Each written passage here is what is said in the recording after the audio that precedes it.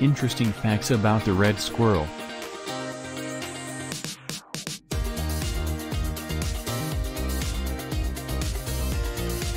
The red squirrel is a mammal native to Europe and northern Asia.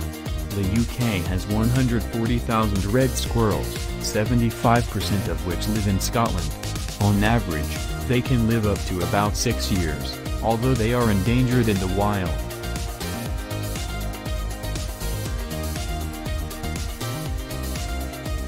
They live in nests called dreys, where their young are born.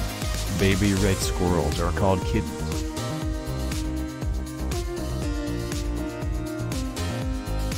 True to its name, the red squirrel is red.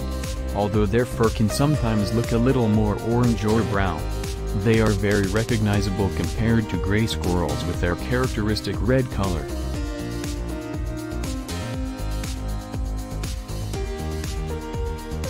Their tails and bellies are usually white, and their coat is thicker in winter to keep them warm. Another cozy feature are the tufts of hair that grow on their ears in cooler temperatures, basically give them their own ear plugs. The same goes for humans. Red squirrels have five toes on their feet and four fingers and a thumb on their front paws.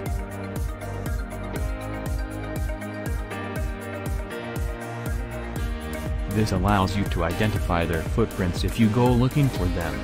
Their ankles have double joints that help them climb trees with ease. To help with balance, they also use their tails.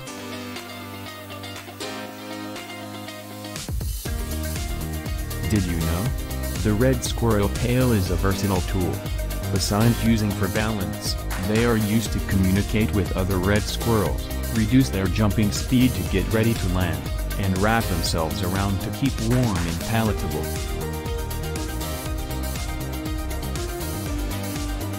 Like their gray counterpart, red squirrels eat nuts and seeds like pine nuts and hazelnuts. They also like to eat fruit where available, tree buds, bark, mushrooms and lichens. Although they do not hibernate, red squirrels still store food for the winter when they become less active and hide for warmth. In the absence of kitchen cabinets and pantry, they will store seeds and nuts in the trees and in the ground. Unfortunately, the red squirrel is an endangered species. There are several factors contributing to this.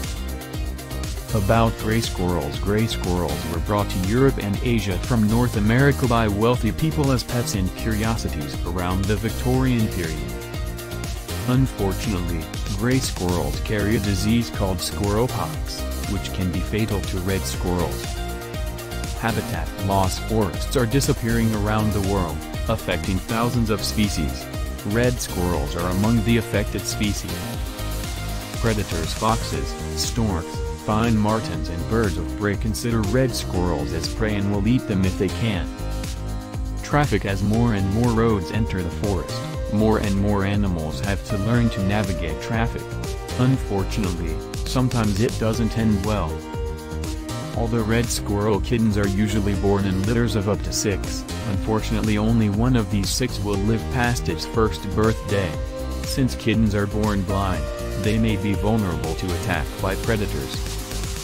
Red squirrel lives in the forest, especially coniferous, deciduous and mixed forests. They need lots of trees for food and protection, as well as moss and soil to build their scum. Because the red squirrel is a protected species, humans sometimes enter and maintain the forest specifically to accommodate the red squirrel, but prevent the gray. Gray squirrels rely on higher calorie nuts and seeds such as acorns, but red squirrels can eat smaller foods. This is one of the reasons why red squirrel numbers are highest in coniferous forests, because the squirrels have a hard time finding enough food and moving away. However, conifers do not produce seeds every year. This is where human intervention comes in, ensuring that a variety of plants are grown and vary in age, to ensure constant seed availability. One of the biggest red squirrel strongholds is Cairngorms National Park. One of the reasons Scotland has such a large concentration of our red-striped friends is because of the country's rich woodlands, a perfect habitat for squirrels. Cairngorms National Park is a great place to find red squirrels, but be sure to keep looking if you are visiting, they might be in the trees. Thank for watching. Thank for keep subscribe and share.